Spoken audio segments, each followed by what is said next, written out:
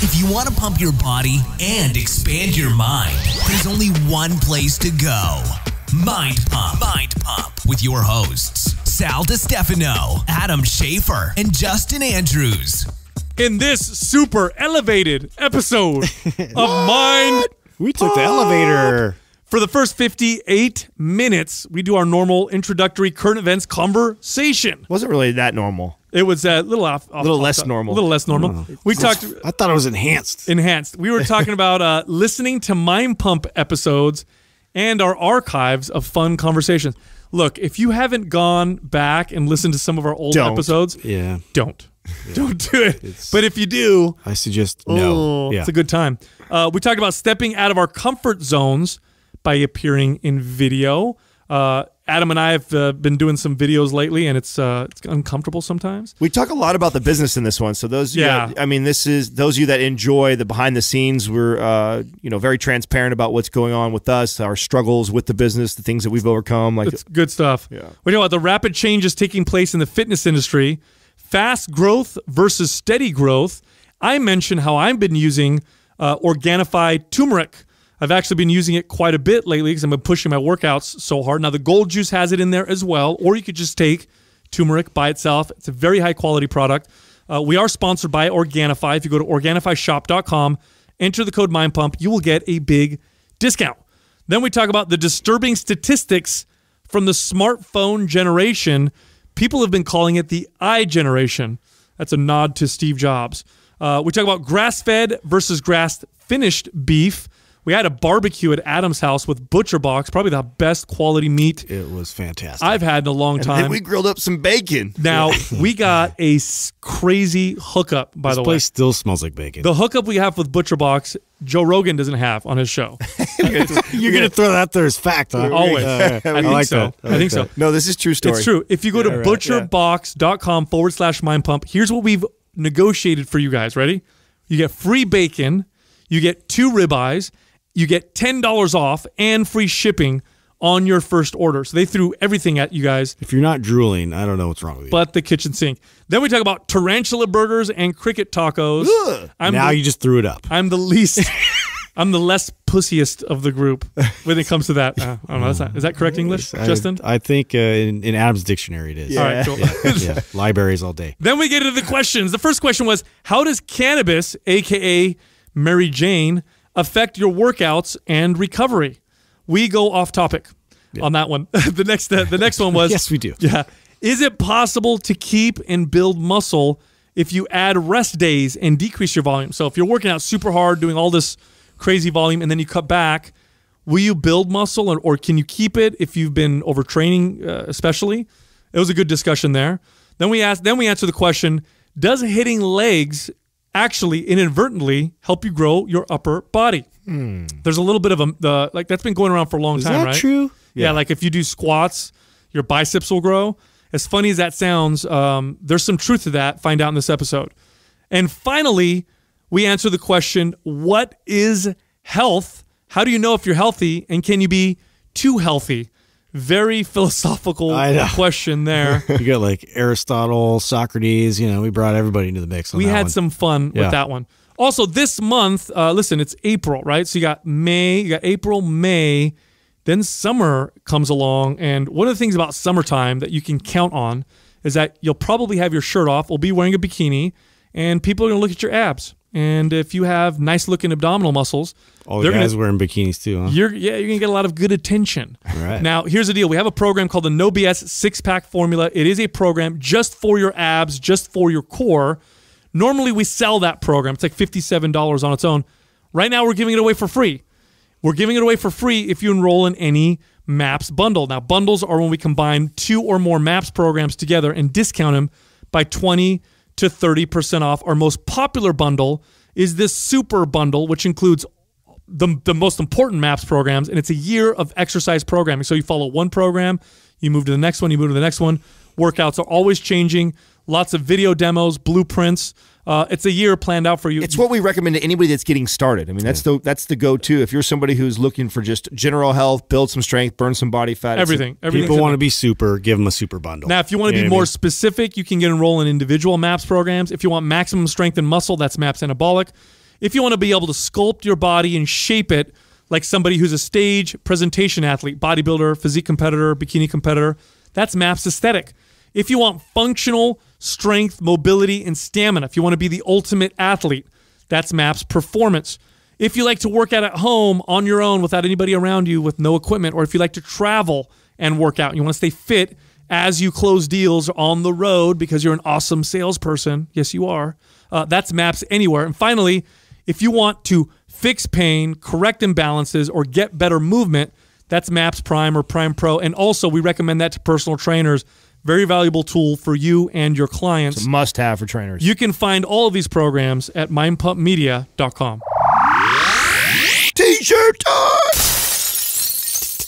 T-shirts. So we had 14 reviews, and we're giving out four shirts. Cool. Look them up. Who gets the shirts, Doug? All right. It's T. Sam's, Warrior Fitness Jax, Katie Lauren 14, CJ InScore. All of you are winners. Send the name I just read to iTunes at mindpumpmedia.com. Send your shirt size, your shipping address, and we'll get that right out to you. Yeah, buddy. Happy birthday. Let's be honest. If we look back at the, what have we got? Almost 750 episodes That is just or more. Where are we at now? That's a lot. Sal, ridiculous catalog. Who's a do you, uh, Justin? Are you are you still consistently consuming the shows? not ours necessarily, but I'm. That's what I I'm- mean. That's, who the fuck else am I talking about? Who the fuck else He's am I like- talking? I mean, like, there's like a plethora of other ones. He's like, but, yes, but not our show. You're like, I just asked you if you're consuming our show. like, Yeah, like no. our like our specific. No, really. show. Uh, so I was uh, talking to Katrina the other day about this because she was kind of razzing me. I'm the biggest fan, obviously. Yeah. It, it's not even that. I think. I, I'm glad that you do. I think it's important that somebody does. Right. I think it that gives good feedback on things that are working or not working, or that you enjoyed or you didn't. I think I think you you can be you can I think you can listen. I only listen to me though. I fast forward. that I believe, dude. Actually, so I listen to every episode, but I don't listen to the whole episode. I always though listen to the the intro, like the where we bullshit. I, I just listen to yeah our episodes, not with like the uh you know when we interview somebody. oh, I never. It's I'm like, true. nah.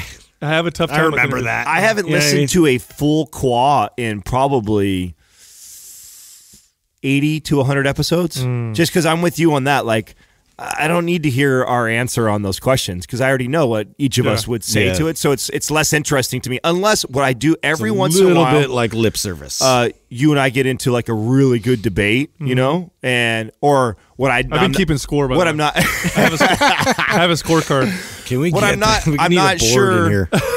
sometimes I'm not sure if it was good though. You know, sometimes Yeah, yeah. and so just a debate period. So sometimes I like to listen to that because I just want to see if I like articulated my argument well, you know, Oh, and yeah. and or to hear your points again and like yeah. where you're coming from. So Like, I I, do like to listen that to that every now, but I don't. Man, I haven't.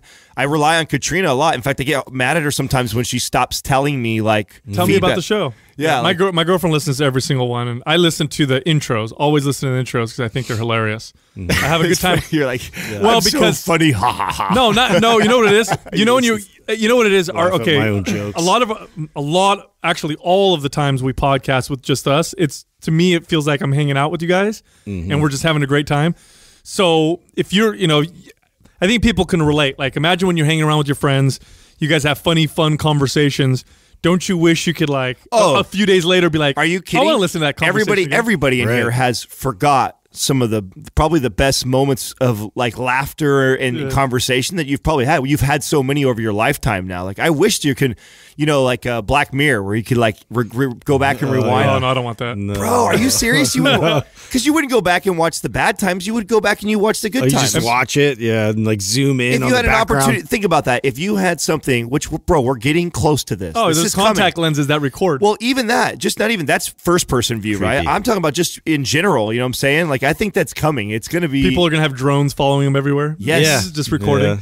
Dude, that's gonna be weird. I imagine watching back your drunk drones start mating. videos, like drunk videos. Great self the next- awareness, though. How, Yeah, how amazing will that be as a tool to like? I mean, if, imagine how much it's going to evolve us when you have the ability. Like someone goes, "Hey, bro, you were being an asshole." No, I wasn't. I was- hold You on, watched the video? Let's Oh, watch wow, this together. Let's watch Yeah. this together. see this moment. See this look on your face right here. Like you know you're already going to be a dick before you even fucking say Okay, it. so let's- like so you can't bullshit me here. Like right? Like so let's, let's so let's talk about the positives and negatives of that technology. I think the positives for me at least is if I'm able to record and watch or or view back my history, I think my argument win percentage will only go up. That's what I think. I think I'll be able to go back. I'll go back to and be like, "Oh, you sure it was my Yeah, fault?" you just find a new Yep. angle. Oh, Yeah. Looks like it Well, wasn't. there's actually a lot of truth to what you're saying right now. That's why I think it's going to evolve us so Yeah. fast. Imagine, imagine if you had the tool. It's really like it's a tool for self awareness. When like- have we, when like have we ever had a NFL. tool? When have we ever had a tool really to develop someone's self awareness? Like, well, think Yeah. about that. What tools do we use? I mean, You know, what you could do. You could play back the video, and if the person still argues, you could put it up on social media, have people vote, and be like, "Looks like everybody says you're an asshole." Yeah. You know what I mean? Right. The drunk playback will be. Oh, man. imagine that the next day you. Nobody's you, gonna drink anymore. Oh, imagine the that. next day you wake up, you're like, "Oh man, that that girl was hot that I made out with last night." You watch the video, you're like, "Oh Was shit, she? She had four teeth." Think Yeah. about think about uh, think about studying for a test. but you know, go though. to lectures or go through questions and go back and reference like, oh, when you heard in the lecture. There's going to be a lot of positives, right? There will be, but Uh, there's going to be a lot of. There'll be some negatives. There's too. always there's Yeah. always a cause and effect. The- because our but what though? What's what's going to be so? Well, your psyche, I think the human psyche evolved in a particular uh, in a particular way for the way we live, and if we make fundamental changes to how we perceive things or remember things, it's going to shake us up because a lot of people don't realize a lot of your memories are what you your brain creates around what actually happened. So when they've done study after study on this, and the reason why they do studies on this is because they find that eyewitnesses are so unreliable many times. Well, they'll be Oh, like, yeah. "Oh, he had red hair and he was really whatever." Then they'll watch the the, the surveillance video and like, "That's not at all what happened." Isn't that strange? Yeah, like you, something could literally just happen, and then like whoever was watching it, they try and like Dude. recite what just happened, and it's sometimes it's completely not Dude, accurate. You, forget that. Do you know how blind you are to shit that's right in front of you? There's this common, there's this very, very common uh, psychological test they'll do all the time in colleges, and you can find it on YouTube. You can watch it on YouTube. And they'll have uh, people passing a ball around, and the goal is to count how many times the ball gets passed. So you're counting it, boom, boom, boom, and at the end of it, at the end of the video, they're like, "Okay, cool. Uh, you know, did you see the gorilla? Did gorilla? you see the monkey? Yeah, Yeah, and you're Oh, like the gorilla. Yeah. Then they play back the video, and while they're passing the ball, the gorilla literally Yes. walks through the front of the video. because you're hyper focused on a task, like you're- you're, trying to like count, count, count. You know the ball bouncing. just to show you how blind Yeah. you are to You're shit just that's oblivious to right the in- background. Yeah. Yes. Now think about car accidents. Think about times when people like hit a car and like I didn't see you. You came out of nowhere, and it's like Oh yeah, somebody like yeah, just like it, you know going across the street, like walking. Oh my god, that's you know if, if you're not like super aware and like looking outside of that, Dude, like, the math that our brain does always subconsciously is fucking insane to me. oh, it's ridiculous. fucking insane. You to know, me. uh, if you throw a baseball at someone, just toss it and they catch it. Do you know the math that goes into predicting where it's going to land to catch? Like it's insane. Like uh, creating a machine that could do that would require so much com- like computer power. Yeah. I don't even know if we have a machine that can just catch something I don't like know. that. I've seen robots like jumping and running now, and that freaks me the fuck out. Do you, have you seen the video with the robot? It's like a humanoid looking robot, and then he's trying to pick up a box, and the guy keeps moving the box out of the way. So the guy keeps, and then they, and then they knock him over. Yeah. and he gets back up. So creepy. what was that Elon Musk uh, video or article you sent over to us just yesterday? What was that? Did I? Yeah, or was that you, Justin? Who sent the? Who's? Oh, Doug, you Doug sent did. it. Yeah. What, what was the article? What was it, Doug? It's just that Elon Musk is warning against AI, and there's a video that apparently he Oh wants people yeah. to watch. Yeah. Was it like I don't know if clickbaity that's really bullshit, true. or it, may, it? it may have been clickbait. I'm not sure. Oh, did you didn't Yeah, watch I've it? heard that. I, didn't get a chance I watched watch the uh, trailer. He has. You, you read the cliff times. notes. Uh, yeah, exactly. Doug, did you did you enter your email? Did you get? Are you on their list now? I was am. it was it was it a sales funnel? You know, he got targeted. Oh man. So Dude, uh, talk about the sa- dude. Talk about the sales funnels. Like, what a what a process that has been for us, man. Like, uh, it's been serious. There's been if we talk about we don't talk about the business that often uh, on air, but that what talk about the growing pain process of that. well, I think well, yeah. what was a big uh, a big we're talking about cold traffic. Yeah, well, well, what was what was a big growing uh, just period was understanding how the different parts of the business are literally like like an email list. That's like your if you send them a, a, a newsletter every week and you do a good job with it, that's a newspaper. Totally different part of the business. Mm-hmm. No different than when a newspaper was, right? You send them a newsletter every single week and people read or whatever every day. Some of them, some people do it every day. Then you have the podcast. That's like a rate. That's like radio. Then you have YouTube. That's like TV. Mm-hmm. You have all these different mediums, and there's more that I'm not even naming. Right? There's all these different. blog articles that are going out every single day. Yeah, and all these things are are different and you have to develop them differently. and you can build different people consume the you know from those platforms. So Yep. it's yeah, a totally different audience we Yep, have to yep. consider. That's the media and Mind Pump Media. Yeah, but talk about this, all the struggle for us personally on that learning that process. Oh, right, right. it's what people different. actually click on versus like what we want them to understand, like right out of the gates. It's Yep. like, yeah, completely. Well, like, I'll I'll tell you what was a, what was a learning curve uh, for me, and I know for Adam too, because uh, me and Adam are the ones primarily on the like the, the videos, right? That get people to want to get our guides or whatever, or you know, through Right. cold traffic. I, I I have I know all of us are very very experienced in sales, and I've uh, never a problem for me to talk about and communicate ideas and convince people that my ideas are good, and I always believe in what I'm selling, so that's that's not a problem. But doing it on video for cold traffic or somebody who's never heard of me or anything like that so different right Completely different So- animal. so, different and then you're being coached on what you should you know talk about i'm like no that's not how i Mm-hmm. you got to be relatable, you know. So it's, like, weird. yeah, you have to just really kind of act as if this is the very first impression you've ever had with that person. oh, it's weird Yeah. it's weird because it's it's different Oh, it's It's it's, really so it's, well, different. it's really different. I mean, it's been uh, talking to the the marketing team and, and then like trying to coach us through like this is the the order it should go in. Talk like this. It's like it- what's it's trying to unlearn something that we've taught ourselves to do for tw- almost twenty years. You know, like I've been uh, learning and trying to improve on the art of communication and sales for a very long part of my life. So, and then to have to completely change that, you know, stylistically has been like fuck. Or man. Well, it's interesting. I was with yesterday. Doug was recording me. and I'm just like, Yeah. I was fucking getting hella mad, dude. If I, I had can something hear around you. me, I was gonna. Oh, you can hear me. oh i Oh, just so, you're getting oh, frustrated? justin Yeah. can i tell you something right now Yeah. you need to be around for that it is the greatest It's thing like, it's like payback. no what it is Fuck you, bro. First of all, I don't. I, I, I try not to be around you because I know if you see me, it makes you more. I, yeah, I can feel your energy. you're gonna, take, you're gonna take them off. We're all like that. So, balance, so I go in here. I don't wanna I go in here in the studio, which is a bomb-proof, soundproof studio. Just so everybody knows, doors closed, and I don't hear what's going on except for when Adam gets pissed and starts yelling. Yeah, fuck, blah blah. Like, oh my god, this is uh, great. Uh. so I told, so I told Jessica that yesterday to make her feel better because she was she was nervous doing because she's doing some some videos and stuff with us and. She's super nervous and she's like, "Oh my god, I suck!" And she really doesn't. She's actually very very good especially when you consider she has zero experience and it's talking to a camera is a totally different animal it's totally different so she's like so frustrated and she's like you guys are naturals and this is so easy and i don't know like no no no you understand like i said you see your adam get so mad Absolutely not. Yeah. yeah and i'm like it's not it's not it's there's nothing natural at all Well, about none of us, talking none of us camera got into this with that intent. at Think all about that at all. That wasn't even on the radar. Like when we were first doing this, and the idea of what we were building, we were it was it was always about the podcast, Yeah. uh, or everything around it. So Well, we knew we would have to. It's just we've never done it. So never you don't thought know what about to. Yeah, you don't know what to. Yeah. So the first when when So you just fucking wing it. Well, when Doug and I, when we did maps the first time, I was writing a book. I was going to write a book. So I'm like, I can write a book. I'll put it together in a book. It'll be cool. And Doug's like, no, no, no. He goes, you're going to be on video. And I, I remember thinking like, uh, no, I'm not going to be on video. What are you talking about? That's, I've never done that before. He goes, that's how we're going to do it. We're going to do it on video. That's how we did it. But I had no idea what the fuck I was doing, what was going to happen. I Still love your. I love your old videos. Yeah. The old video? I mean, that was what I literally. If it, it wasn't, how funny is that? Had you not sent that to me, we may have never connected. That's true. We may have never. You're like a lot more trustworthy and like youthful. Yeah. I'm just gonna be honest. That's when I comb my hair to the side.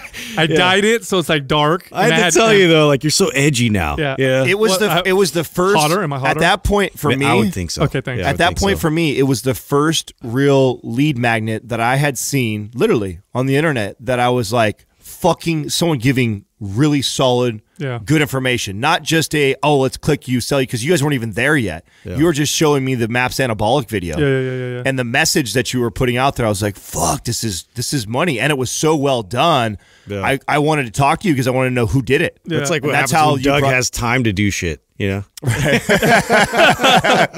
it's like he's like coming up with all these covers for muscle magazines and like Dude. getting all artistic. Oh, in it. I know, right? Yeah. Oh, and he loved every second Yeah. of it. One of the biggest struggles right now within the company is also is being able to relieve Doug to do the things that I think he's best at and that he loves the most but we rely on him so heavily for all this other stuff that you know that's it's, it's the a growing compromise like all the way across the board you know it's like you just know what has to get done and Yeah. like the It doesn't speed help. at which we got to produce it now is on such another level it's crazy Well, man. it, it doesn't it doesn't help either. He's a motherfucker when it comes to letting go of shit too. you know what I'm saying? Once he gets his digs his hands into it, you know what I'm Oh, saying? yeah. Which is totally opposite of like Sal and myself. Like we're in He's the business of delegating, control bro. Like that's what Yeah. It's like, okay, I'm like, oh, you're good at that. You do that.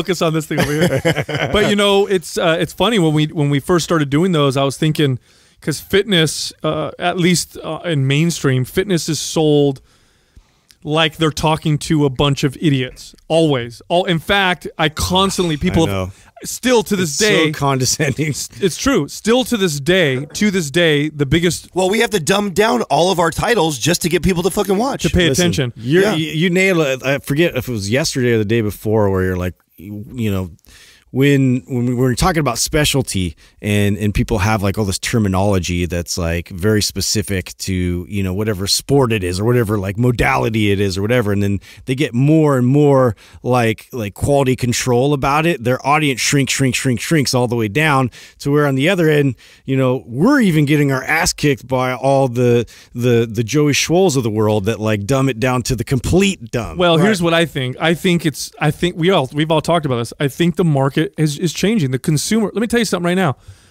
Well, I hope Sure, people- I- the I average hope- client I hope now- we're the catalyst for that. Well, I the- believe we are. The average client today, the average person today, is more educated and smarter in regards to health and fitness. They just are, and it's because of the internet.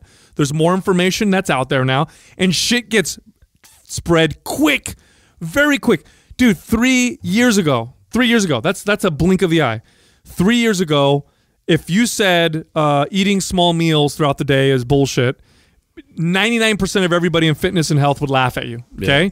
Three years later, if I say that in a room full of fitness professionals, most of them will agree with me. There'll be a few of them outliers who aren't keeping up to date and will be like, no, small meals burn more. And everybody be like, actually, no, that's bullshit. That's in three years, dude. Yeah. Shit has never changed that fast in fitness up, up until relatively recently. So I think being, assuming that your audience knows We've a been little a thing more. for three years too. That's weird. say what? Justin said we've Yep. been a thing for three years too. I think we just see it. You know what I mean? Super weird. yeah. No, we've said that you always. see it and are just hitching hitching a ride. You know what I'm Yeah, saying? yeah, exactly. Grabbing onto the coattails of, of where things are going. Yeah. But it's true, and I think the average consumer is more educated, a little smarter, and wants to be. And the other thing too is you want to consider the industry of fitness on a broad scale has really only been around for. I don't know, 30 years, and and maybe 25 years. Before that, there wasn't huge marketing. It wasn't a big moneymaker. It, it wasn't a big thing. It's only really been relatively. It's a newer market. My point. It's it's a newer market, but it's been around now for long enough to where people now are starting to see the like before and afters, and like you tell people, hey, if you see this ad that says this person lost thirty pounds in a month, and most people now will be like, yeah, that's that's probably Yeah, bullshit. yeah. Do- Twenty five. do the math quickly. 25 years ago, people were like, "Oh shit, that's crazy. That looks awesome." So I think it's that's the other part of it is people are now kind of sick of the old stuff a little bit and they're seeing the old tricks and so it becomes a little bit more visible and that's better Well, you saw the reaction once people found out like some of these Instagram models were using Photoshop. Like it was Oh. like pandemonium. Like what? like yeah. there was people coming with torches and pick. You that know, was the beginning of the fall of Shredz. It That's- was. that Yeah. when that got caught up, when their athletes got caught up doing that like crazy. And you know what? The- and the- the rumor was that it was coming from above and was being taught within the company because so mm-hmm. many are doing it. Yeah. And they tried to, you know, they tried to put out a video to say that. Well, they were literally trying to it's kinda- model like the magazines. 'Cause That- the magazines like the ultimate like airbrush like Photoshop. They've been doing that for decades. That's why you can't Yeah. really get mad at him. I mean, he was following a model like that. I mean, it literally Yeah. is exactly that. It's a hundred percent exactly like it's that. it's When not you- that the model didn't change public perception public to change. perception. Yeah, And that's what I'm trying They're to like, say right now You tricked me. Yes. That's why it was interesting to see the reaction. I thought. Yep, that's what I'm trying to say right now. That's why the like fake airbrush perfect is falling out of style. Real, raw, uh, authentic connect is becoming more. Do you think we have less or more Popular. accountability ourselves personally on that? uh, what do you mean? Like you know, like do you do we are we holding ourselves accountable for making that like decision to go buy a product like that, or are we quick to, quicker to blame others now than what we were before? Oh, um, I don't know. It's a good question. I think with social media, social media is such a it's such a interesting reflection of people's behaviors because you can dislike, like, unfollow, follow very quickly, and so you see it's like such a fast like I have never in my life experienced Yeah, or without seen, even reading what the person wrote. dude before before social media and before tech, smartphones in particular because smartphones just took it to a new level in terms of access before that like for a celebrity to rise to stardom and then crash there was a longer period of time bet- between that Oh, yeah. now it's like boom you're at the top boom you're fucking nobody fast like like that 15 minute you know like they'd say your 15 minutes of fame mm-hmm. is like five minutes now. Yeah. if in, in, in the public and it can change so quickly and i think it's because people have more power to like like Yeah. dislike I like you, not like. It's like old like gladiator, like you know, live, die. You know, you get thumbs up, thumbs down. Like it's Dude. we've literally, literally like resorted back to that. Do you think we're going to see that? You, guys, you think we're going to see this like rapid turnover of like Instagram stars that like you you see explode, blow up? Everybody, uh, don't you see it now? It's crazy how like people on the top now are, are will, will crash and burn faster than you can even. And look at on Twitter. Look at celebrities on Twitter. Like old. What I mean by uh, when I say old celebrities, like this old is media. why I, I, this is why I think it's so important. And we, when we talk the business stuff, like this is why when I talk to somebody about how like slow for us, it feels extremely slow, right? Like maybe from an outsider looking in, they think it's been fast because maybe you fell into Mind Pump, you didn't hear anything about him, then all of a sudden, hella people talked about him around your circle or something, whatever. But for us, it's been a super slow grind. And when you look at like how little all of our pages on everything, but everything across the board because we've just been doing it organically. And I think the right, in my opinion, the right way. Mm-hmm. Yep. And I think when you chase after just the fame or blowing up really, really fast, you do it with the, the cheap tricks and the shit. And it's really hard to build a, a sustainable business that's going to yeah, make there's like no retention in it. Yeah, you there don't is have no a base. retention. You don't have a solid base. Yeah. It's like building a house as fast as you can without having a they're solid very foundation. fleeting, right? Yeah, I'll t- one of the worst things that you said this a long time ago, and I completely agree. One of the worst things that would that could have happened to us early on is if we exploded out of nowhere without a strong When we're not ready. Without right, Yeah, right. I, I mean that was we. I remember this was a conversation we had back and forth all the time, and you'd be like, "You guys, we were one day it's gonna be like a hockey stick." You know, they everyone talks about the hockey Yep, stick, and yep, then it explodes for us. And I'm like, you know what, bro? I don't want that to happen. I'm, like, scared to death. out if that happens. that Yeah. fucking happens, yeah, we might make ten million dollars, but what goes through my head, it should have been a hundred million dollars. Right. You know what I'm saying? Like that's We're gonna miss all of this wave, you know, of because we didn't have because Yeah. we wouldn't have a substan- we wouldn't have the foundation built for it to be a thriving business that will forever forever keep going and because we're that- providing so much value to people's lives. You'll you'll never unsubscribe to Netflix. You know why? Because it fucking provides so much value to you, whether it's whether it be laughter or enjoyment with Mm-hmm. Yeah. it. You know what I'm saying? Like but, no- but in, in even another side to that too is sometimes that fast growth happens faster than you're prepared for, and it actually crushes you. I have a perfect example of this, and this is when I was actually running a uh, a boot camp, and I was doing it through the facility. I was using also to personal train, and I had a partner at the time that was, you know, he was doing sort of the marketing and online marketing for me, and I was just going to run the camp for him. I remember this. And um, so what we did, like, just you know, this is right when Groupon came into play and became a thing, and uh, we just decided, okay, you know, let's try this out and and put an ad out there and like give people basically undercut what our current members were paying uh, with some like ridiculous deal, and it, it like drove a gajillion people at one time and did not like. I was. I literally I had like It's such a hundred people thing to do for a small business. for like one guy, and I, I was calling my friends that were trainers to come help, and and what ends up happening is they get a bad it killed the experience. business. Yeah. it killed. It literally killed. and I I told them like I don't want to keep like I, I can't put my name on this. You know, the, the quality control isn't there.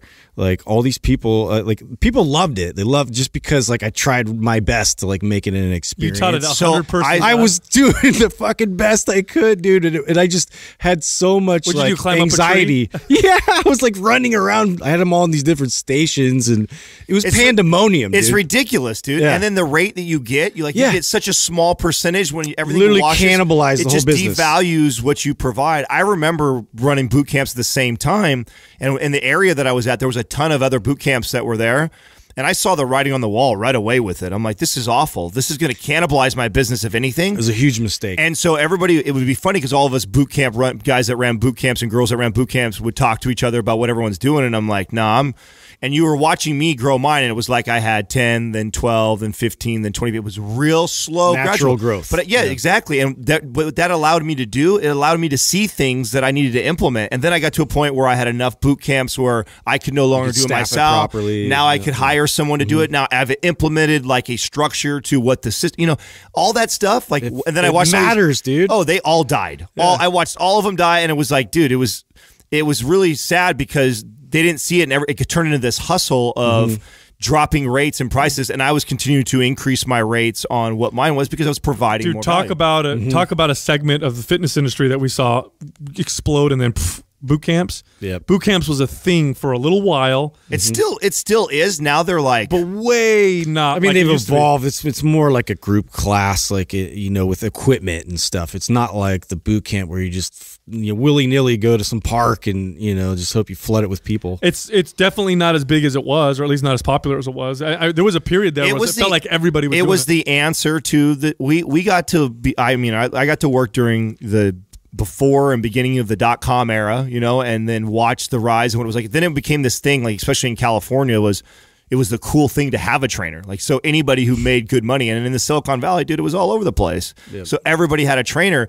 They got used to that lifestyle and being cool and saying, "I got my trainer," and then it became, "I can't really afford my trainer" because everyone's dot com shit started to crash. Everybody was losing mm-hmm. money. Mm-hmm. So it was the closest way that you could still say, "I got a trainer." That's kind of like my he's my trainer because he helps me and five other ladies, or you know what I'm saying? Like that was that was your way of feeling, and you're paying a quarter of the price, you know. And so and it was smart for trainers because it's like, oh, now I can convince these people just to spend 200 bucks a month on me or 300 bucks a month, and I'll see them four At- or five times a At week. first, you just go to a park, take these people, and then eventually the park started getting a little wise on it. I'm like, no, you got to pay. oh yeah, you yeah, can't you got to come. pay for Oh, yeah. permits and all that stuff. Because otherwise, it was getting crowded. I remember that. It, got, Yep. it became a thing there yeah, for a yeah, second. the Dude, city cracked down. Dude, speaking of technology, my so my son went to this high school, um, like what what is it when they tour the kids who are about to go there or whatever. Anyway, Uh-huh. so he would check that out, and then he got one of the newspapers there, and I'm reading this article on this book called iGen.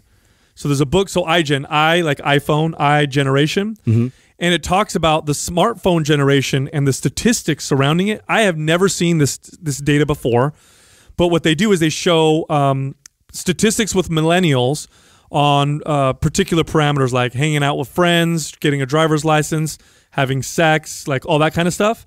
And they draw a line from when the iPhone was released in 2007. Holy shit! I if I that's show you these graphs, Can I we wish see it? Can Doug yeah, pull it I up? wanna I, see want to that. see it. Doug, if I if I forward you all of these uh, all of these pictures, can you put them up on the contrast. screen? Can you put them on? All right, because you literally see. Did you just interrupt Doug's shopping? He's- is that what's going on? Yeah, there? Add to cart. He's on Prime right now. I'm like, what are you doing, Doug? Yeah. Will you interrupt your shopping? What do you or, What do you We order? do need that drone, so Oh, he, are you showing us the article? Oh yeah, no, that's the that's the book. That's the book. So uh, I'm I'm messaging you. Are you reading this right now. book? No, no, no. These pictures were taken from the newspaper, which took them from the book. So this this article in the newspaper was, I guess, this speaker went to this high school and did this this talk and went over all the stuff with the kids. But the data, and hopefully when Doug gets it, you should be getting it uh, sent to you via text pretty soon, Doug. When you get it, post it up there because it's like the craziest, uh, the craziest, starkest thing I've ever seen in terms of you can see clearly what happens after the iPhone is uh, released. So pretty, pretty cool stuff. So we'll wait till he pulls yeah, that up. It's still it's flying He's- in, the, Doug's in like, the I he didn't airwaves get- He didn't get anything. right now. Oh, he should be getting. It. Yes, it. I want to Yeah. see how crazy is it. That is it that you're making it sound like it's fucking ridiculous, bro. Why it's does like technology feels so slow right now? It's- Yeah. we're talking about like how awesome it is. So like the first one, the first one is not hanging out with friends, and this is between eighth, tenth, and twelfth graders. Uh, not getting a driver's license, uh, dating, less sex. There's a, there's a few of these that are. I Uh, want to read this. yeah, it- I, iGen's the book. yeah. Anyway, um, in terms of uh, cool breakthrough stuff, I'll tell you guys about something else while Doug's trying to get that. Um, so I started experimenting with uh, turmeric, taking a lot of turmeric. So you know, Organifi sends us all those uh, other other products. I haven't taken turmeric in high doses And when I say high doses, I'm taking uh, about eight capsules uh, a day of it. Great And- for inflammation. Well, right? you know, I you guys know I've been changing my workouts. I'm trying to go outside of my comfort zone. Yeah, yeah, yeah. I've been doing heavy. I did the other day. I did uh, 365 pound uh, trap bar farmer walks for 50 yards Oh, for yeah. speed, which It's is just like hoofing it too. bro. not- That's yeah. a that's a whole different. You ever have you done some- monster, dude. Have you done farmer walks with like that much weight? How much? 365 the trap bar. with the trap bar. I don't know if I've tried to do that before the trap bar. I've done heavy with the trap bar. It before. feels It's- it's like a monster. Well, when you have that much weight, you have to like every step. You have to be very careful because I'm like, oh, I could totally fuck my knee up if I step wrong on this. But anyway, I'm doing all these different workouts. I'm getting really sore. So I started about four days ago taking uh, the turmeric for the Organifi turmeric, and I'm taking it with fish oil, uh, which I normally take, and uh, because I know f- it helps it helps your body absorb it. And dude, like significant difference in in soreness and stiffness. I feel way looser. Very interesting. So I looked it up on examine.com and the evidence on how effective turmeric is for or curcumin, which is the active ingredient on inflammation is actually better than I thought it was. I thought it wasn't I've heard that like forever. Everybody always mentions turmeric, and um, you know, I. That's interesting. That uh, yeah, so it's validated through Examine, huh? No, it's legit. So I think something like turmeric might be an effective, especially for uh, if you're feeling anxious or to, or you're feeling kind of down, because sometimes that can give you a sign that you're there's too much inflammation in your brain, stiff joints, or if you're pushing your workout so hard that you're teetering on that edge, like I am, of overdoing it and doing the right amount. So And are you are you using it like uh, you know that old study with uh, like ibuprofen and you know how like uh, some of the athletes that were taking it going into uh, the workouts actually didn't have as, as great a gains as the person that uh, kind of went through it and then That's a good point because, but the problem, the difference is ibuprofen and NSAIDs inhibit inflammation uh, from a completely different pathway. I think what turmeric is doing is it's bringing it's bringing inflammation down to normal, healthy levels. I don't think you could like depress it below that with something like turmeric, but still, it's just a natural herb. but still inflammation is is a signal. So i'm using it now because i know i'm pushing my body on the line. So i think i'll benefit from it. If i'm working out like super easy and stuff like that i mean there's there's definitely health benefits but i don't know if i'd be taking eight capsules a day for inflammation. So Yeah. looks like you got them up doug. Can you enlarge that picture right there Is Is that any way? is that line that two, that's So you see that line going through- 2007 when the iPhone was? yeah so do you see that that line that Oh, goes yeah. that goes through just takes a total dive. And so that's hanging, not hanging out with friends.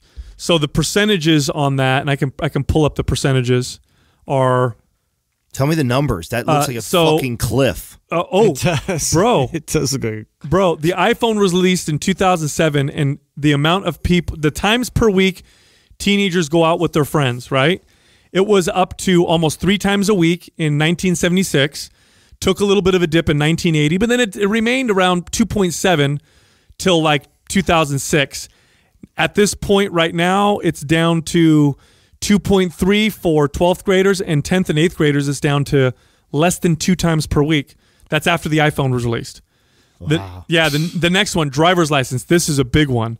Uh, percentage of 12th graders who who drive.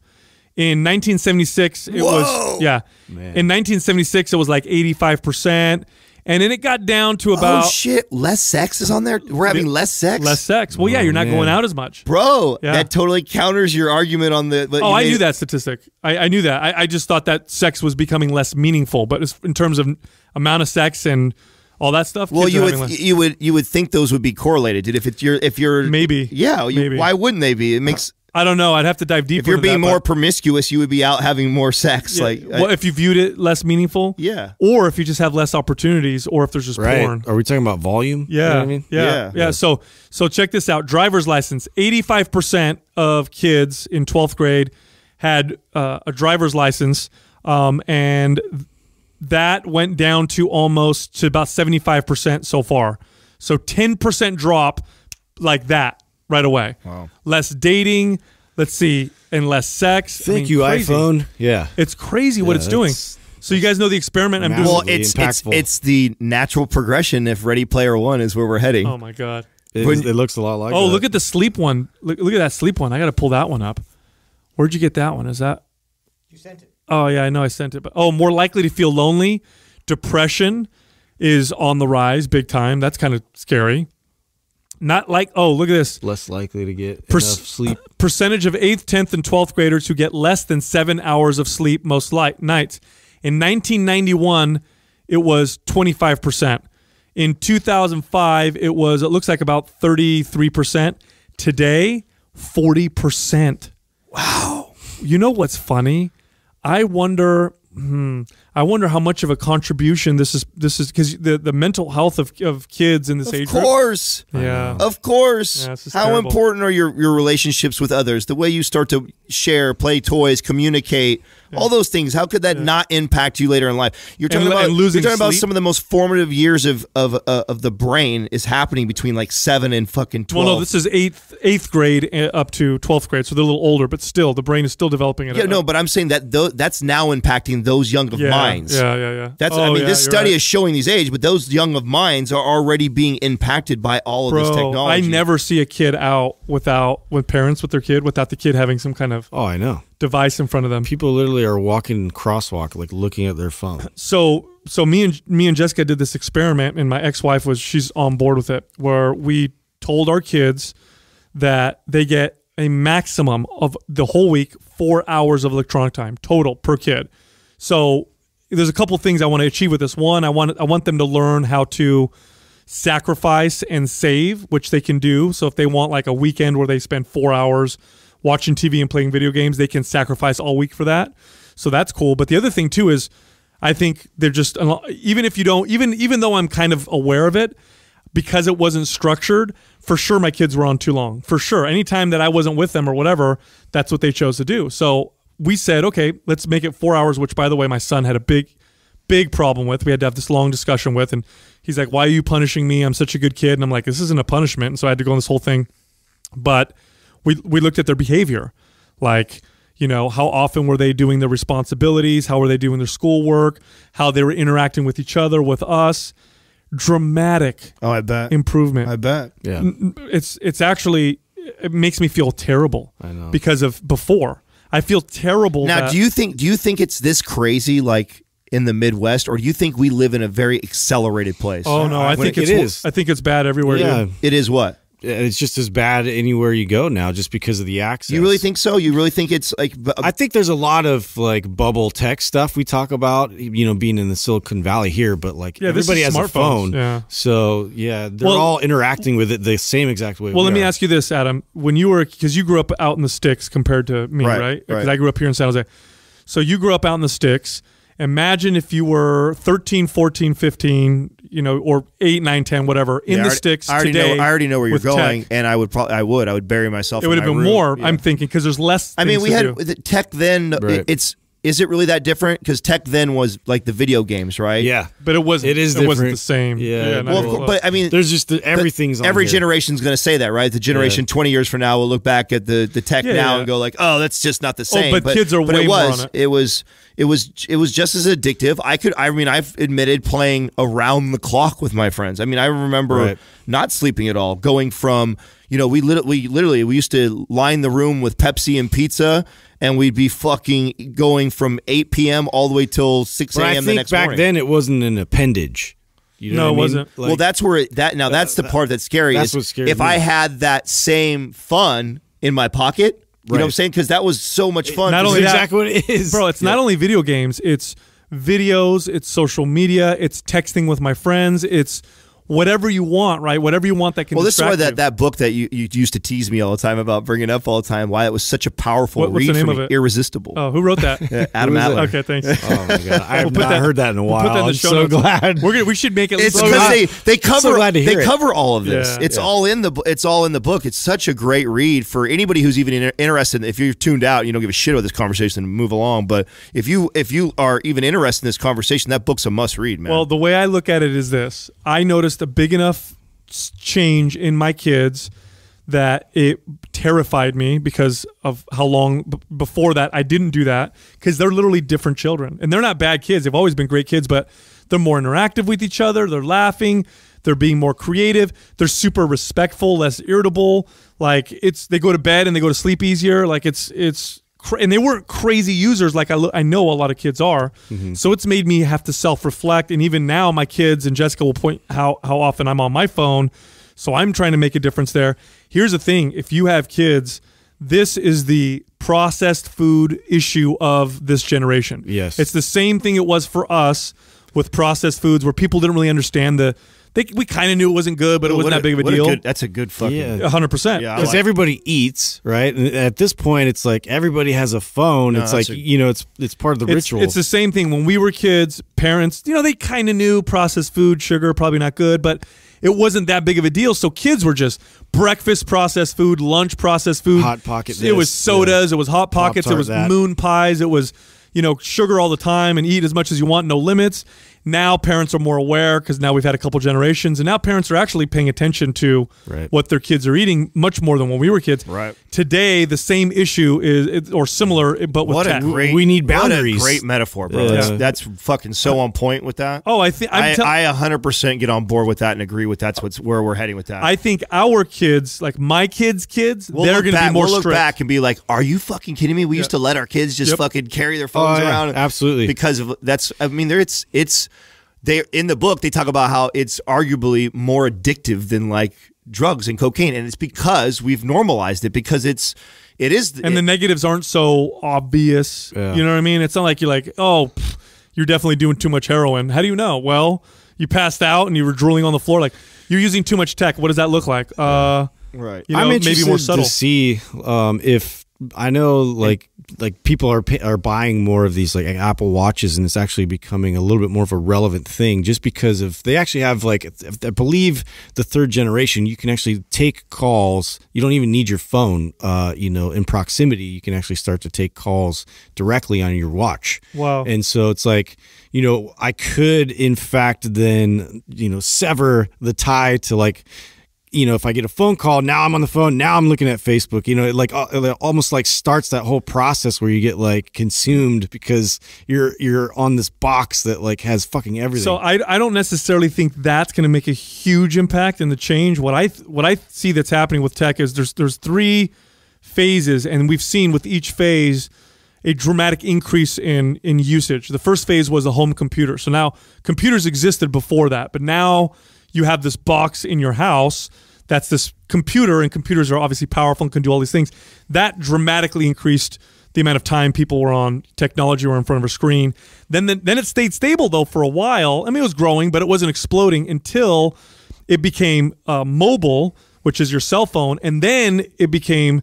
Well, now this is an accessory. Now my phone is like a purse or like anything else, where the way it looks and the this is why iPhones do so they well. it, yeah. I mean, the reality is like Now, I can- iPhone tech isn't as typically as good as like Samsung or. mean, I could argue some of the stats on there as far as the relationship building too, though. Like I think it's improved. There's some things that have really improved that. Oh, for sure. I have the. I'm just saying the usage. Yeah, you know what no, I mean? no, I know. And I think the next phase is going to be when it's a part of your body. That'll be when forget about it, and and that's coming, dude. That is Yeah. so Well, we'll we'll do it. Well, it's it's what we do always, right? We're gonna we're gonna push the boundaries as far as they can until we start to see. Oh shit! Okay, that was a little too far. Like that's now It's- it's- causing more more damage than it's helping. It's uh, it's interesting because I, I think it's going to pose uh, th- like the next big, massive problem for humanity to figure out. We talked about AI earlier with that video from Elon Musk. Like, technology is so powerful and has benefited us so much that we we almost assume it can't do anything bad or that there's nothing wrong with it. right because we created it. And this is going to be a lesson that we learn. I just hope we survive this lesson, but it could be a lesson that's learned in a terrible way. I mean, who knows? You know what I mean? Who knows what that's going to be like? But I don't know, man. Um, imagine being the guys that are making the decisions to make these things addictive, dude, and you know it. Like, how do you go? Like, I wonder how They- hard that. I think a lot of them lie to themselves. have to. I think you're lying to themselves, or you're evil. You know what I mean? Right. But I think you lie to yourself. Well, you it's back to the the processed food thing. You know, it's like like they're uh, scientists that that helped to make it more addictive must have felt the same thing, right? Like they're like, oh, we're getting them to, you know, that flavor's so powerful, it's gonna just really hit their palate, and oh, we're gonna get them.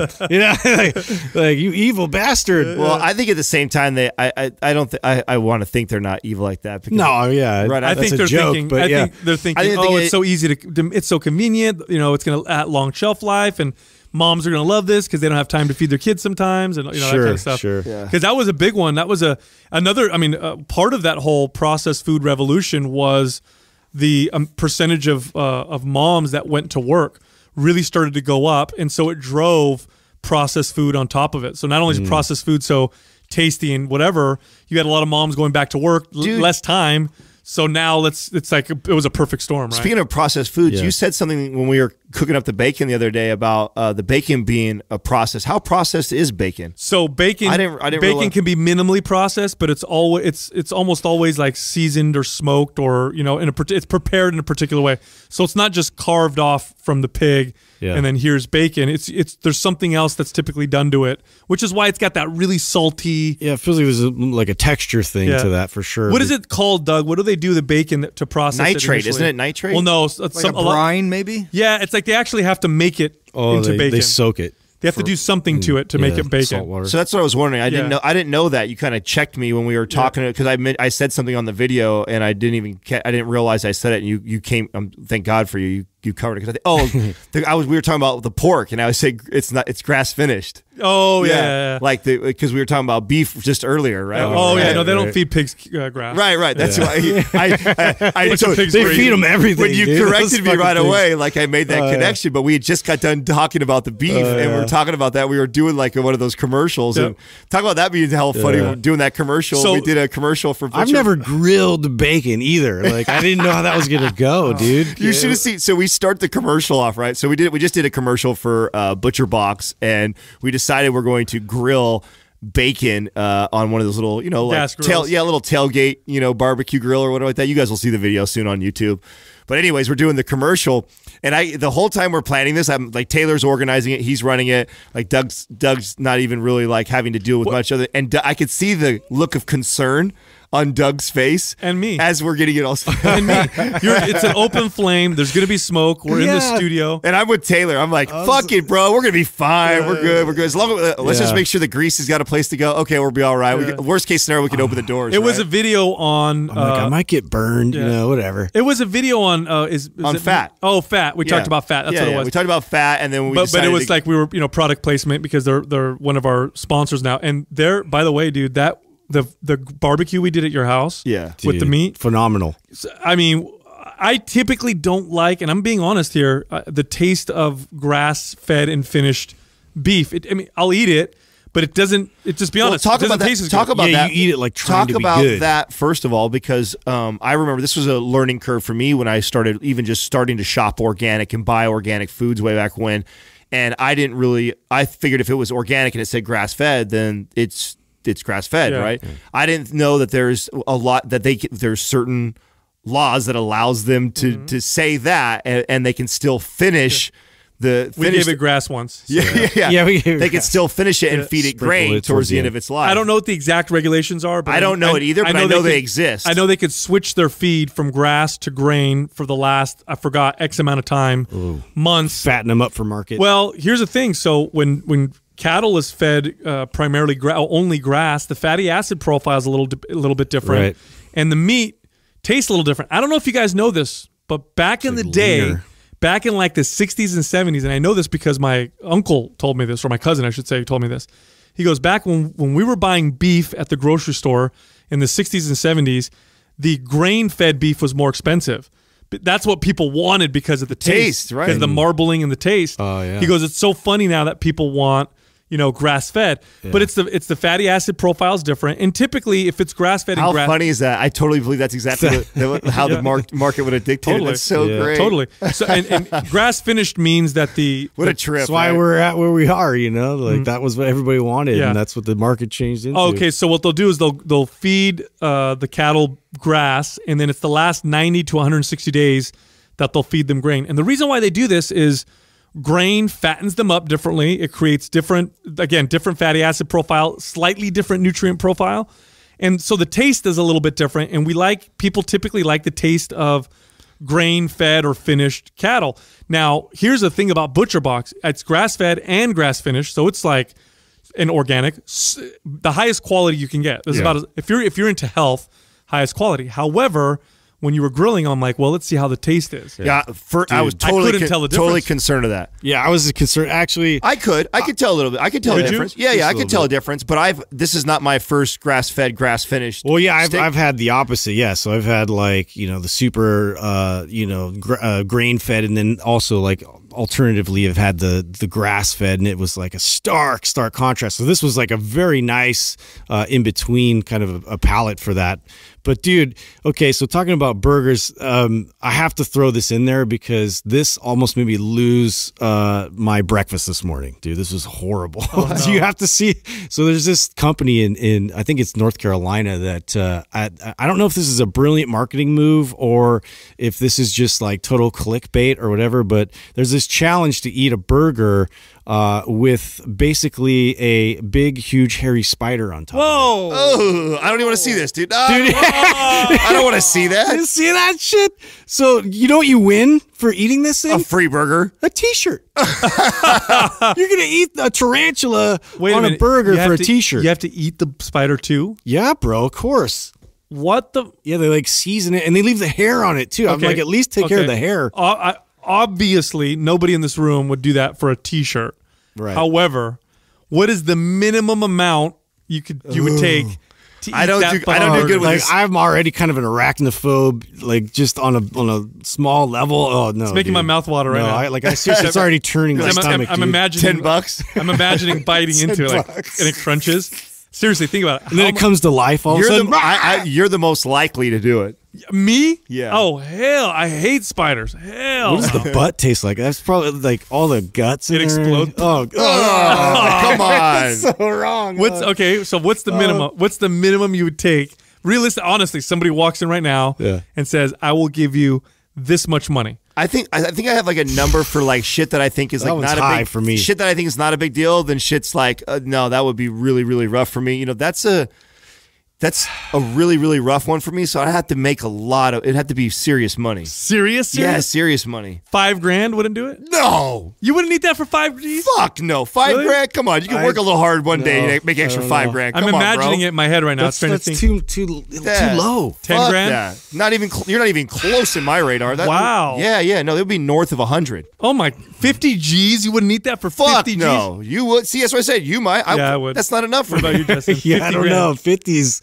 I think that might be my threshold, dude. Anything less feels like you know. Dude, 50 G's. I could do without it. I could do that. Yeah, I'd wear. I'd clothespin my nose. I can I blend it and drink that shit? No, you can't do that. No, you have to chomp it. You gotta chomp. Can I use mayonnaise? And you gotta eat the No. whole burger. Can I put end- mayonnaise on it? okay, well, what area of it are you going to start with? I would take this. You going I- ass first? You I- going fangs? I already know what I do. Oh, I'd put- fangs. You know oh, what I'm Oh, no. saying? I know what I do. And he's I, hairy. I would take the bun Oh. because I'm watching. I'm looking at the picture right now, and it's a, uh. it's a bun. We need to send the show notes to Jackie. She put this in. Oh my god! You there's a bun, a piece of lettuce, a burger. Don't know why they put the lettuce in there. And then there's a massive spider that covers like most of the burger. it's huge. And then the It's a bun huge is. tarantula. so here's what I would do. I would take the bun and I put it on top and I crush it down as hard as I could, flatten that shit Right, out. try and like smash Just it. h- if together. you're allowed to do that. Yeah, then- I don't think you. I wouldn't allow you to do that if we're talking money. Yeah, here. if, if I gotta pay you fifty Stop grand. changing the rules. He's like smashing it, trying to be like cheese. You know? Stop fucking Come changing on, the rules man. here, dude. Oh. I'm, it's already too late. I already said 50 G's. I would smash that shit down. I'd have a big old glass of water and I'd cook, cook, cook, cook real fast. I'd take it like supplements. That's what I would do. Oh my god! You know what I'm saying? What if you had to watch it move around first and be alive, and then, and then they killed it and you had to eat it? Oh, oh, I don't care. As long as it's dead. I won't do it alive. Yeah, but you remember it moving around. you know what I mean? I don't care shit about its life.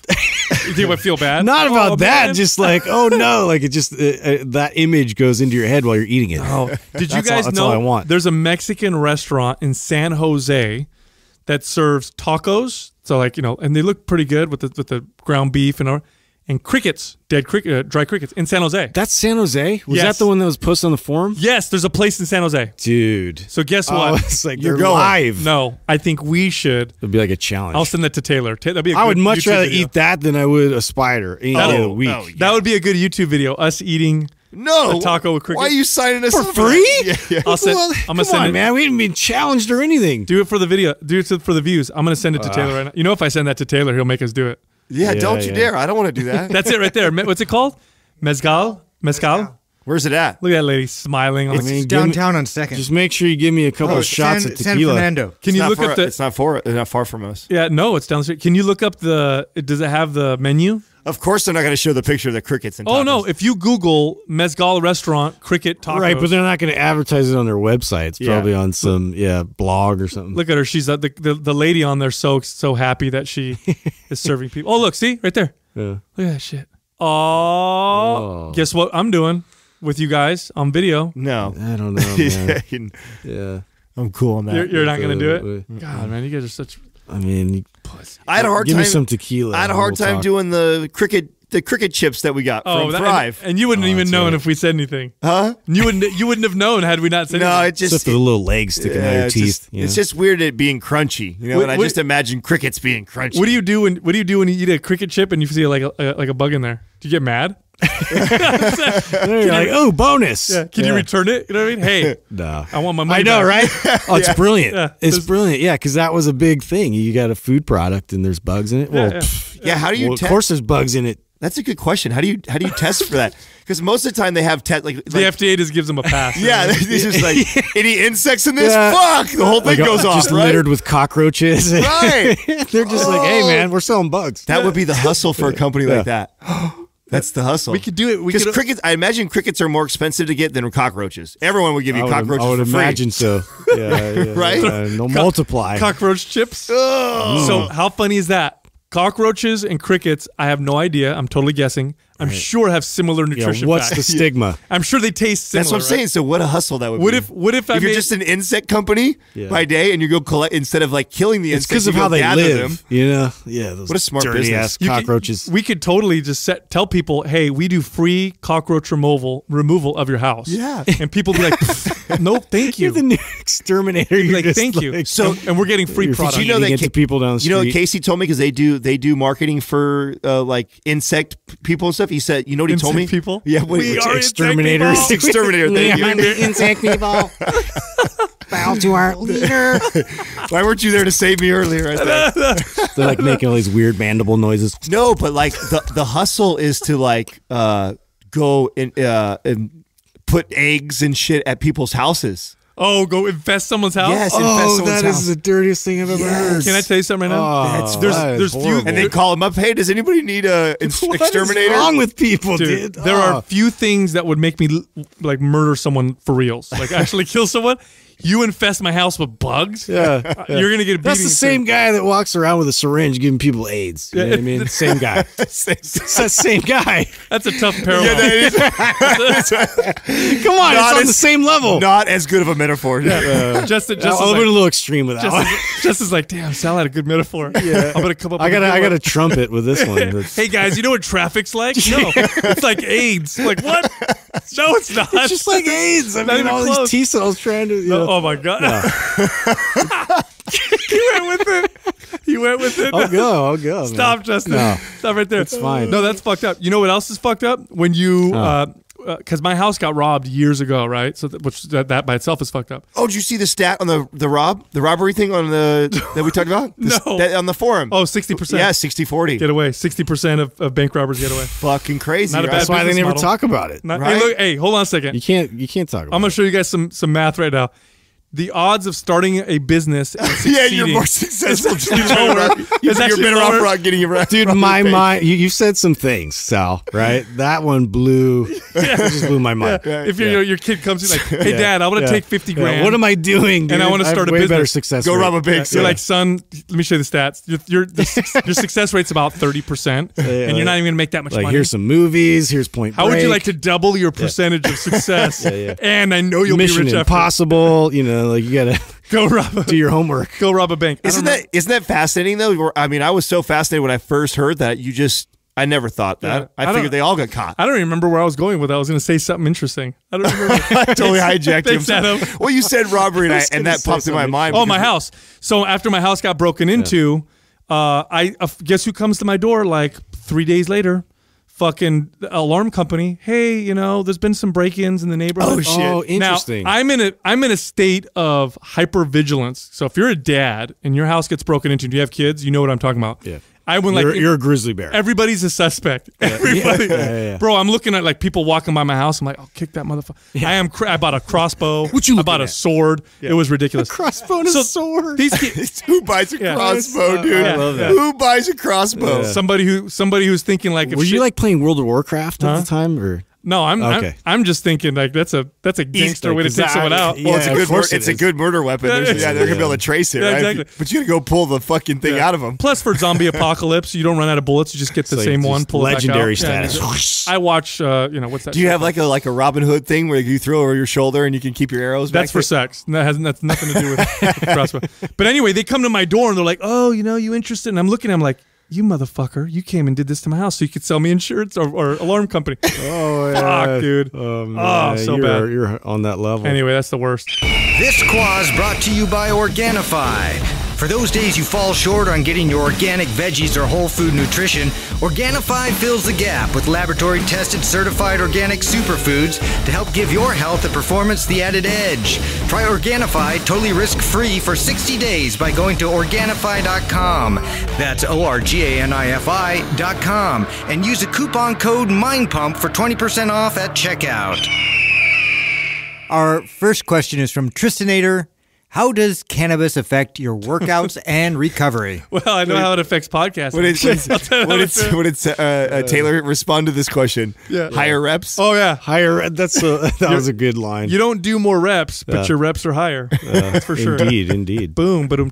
Uh, so cannabis, that's an interesting one because the jury's kind of out still. And what I mean by that is, so statist- so the, the there's been studies to show that cannabis reduces reaction time, power output, and speed. But you also have a lot of athletes using cannabis for their training, and some and some people saying it's a performance enhancer. Now, one of the things about cannabis is painkiller, anti-inflammatory, but it also is a consciousness alterer. Now, if that's if you go too far and, and, and alter your consciousness too much and have too much cannabis, I can't imagine you succeeding at anything other than having strange conversations with your friends. Uh, so I don't think that's a good idea. But I think a little bit because I've I've read articles written by like high level endurance runners and I've talked to people. You know, our podcast lets us talk to all these high performing athletes, and a lot of them will say when they're doing endurance uh, sports or they're doing things that are repetitive, like running for miles or swimming or you know cli- something that just like kind of kind of repetitive but not super high intensity but more moderate intensity but for long duration I've heard a lot They're of saying it works well. guys uh, mention that it, it works well for them. I could see that because jujitsu can definitely turn, not always, but it can definitely turn into this moderate intensity, like long duration endurance game, especially when you're high level and you're going against someone else at high level. It's like chess, and it's like you're definitely exerting yourself, but it's, you're flowing, you're going a little slower, you're conserving energy. And so I can see how cannabis may benefit something like that. And, and Do you think it's possible to smoke too much and then blunt the recovery process at all? uh, I, I think it'll reduce inflammation, but it may, as a result, reduce the signal. Right, that that muscle building signal, that hmm. adaptation signal. Hmm. That's something that I'm thinking about. I know a lot of there's a lot of bodybuilders that use it This- post workout. Right. Yeah, mm-hmm. I, I, this is also one of those things too that I think it's it, it's going to be to each their own because we're so uniquely different with stuff like that. Just how how everything affects everybody's body a little bit different. Yeah. I mean, I don't have a really I don't I don't like using cannabis at all for anything to do with my training. Like it's I use it for other purposes. What about cardio or Well, unless like mobility, You I know- would say that that'd be the only time Oh. I would think it'd be awesome. mobility and stretching? Is a whole definitely a performance enhancer for me. Just the little nuanced ways of moving your body, like you know, under like a nice kind of low intensity feel Mm-hmm, to it would be, I, I feel would be a good fit. Yeah, no, I could see, I could see that. I could see sauna. I could see all those things. But when I think of workouts, I think of like training, right? Like I would I would I wouldn't want it for a high intensity yeah training. any session. any sort No of way. training like lifting. If I'm lifting weights, I'm not. I Have you guys tried it? in Oh yeah, I have. Yeah. yeah. Because I had a buddy that when we were first getting in the cannabis industry, um, and remember I was like anti all that shit, so I wasn't using or trying any cannabis at all. You know, just ten years ago or maybe twelve. You know, and my buddy used to do it before he worked out. He loved it, but I and I tried it because it a couple times with him, and I was just like, nah, it ain't for me, dude. I I'm already such a focused person when I'm lifting. Like I totally tune everybody out. I've got my headphones on. Like I'm I feel very connected to my body Yeah, when I I'm- lift. Like I don't I, I don't need any I don't need any distractions or mm-hmm. anything that doesn't help that, that could pull away from that. Yeah, my if- mind trailing off like when you're high. If- you know. To me, it's like uh, because I've definitely tried it and and worked out, and I lose that hard power strength edge that I get when I work out. I I my my mind might trail off a little bit. Um, now I've tried it with like focus sessions, mobility sessions, trigger sessions, low intensity, like going to the gym and get a good pump and a stretch and that kind of stuff. Then it works great. Like if you're going to the gym and you're going to go train at a, you're just going to try and squeeze the muscle, isolate it, stretch it, use machines and cables and that kind of stuff. Then you, you can, it's kind of cool because you, you're in this different space. But if I'm going to go after it, terrible. I've done it before, and it's like I can't push as hard. I, would rather have caffeine. Like for me, the ultimate Yeah. Yeah. pre-workout anything is a Yeah, stimulant. caffeine's great. Yeah, it's got to be a stimulant, right? Yeah. Because you go in and it just gives you that. It's that same. I mean, even that's why I listen to like really heavy music, and Yeah. I, I understand like what it does to me, and uh, it, it's just like it puts you in that sort of state where you're just like you can easily access that that sort of CNS response where you just like ah, like you Mm-hmm. can tighten up like.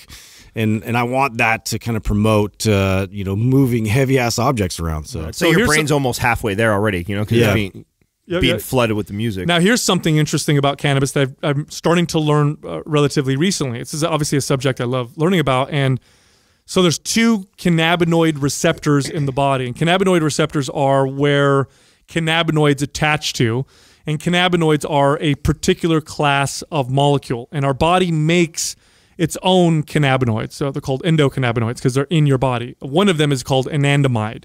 But there's also phytocannabinoids, which are found in plants like cannabis. And they look similar and they fit like a key into uh, these uh, receptors.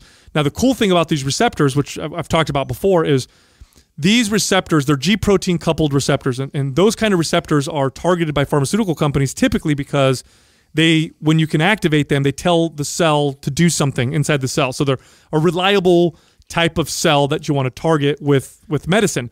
So like the opiate receptors, I believe are are are these types of receptors. But the, the, the cannabinoid receptors are a version of these G protein coupled receptors that are one of the most, if not the most, abundant in the body. So it's literally everywhere. And we've identified two of them. There's CB1 and CB2 receptors.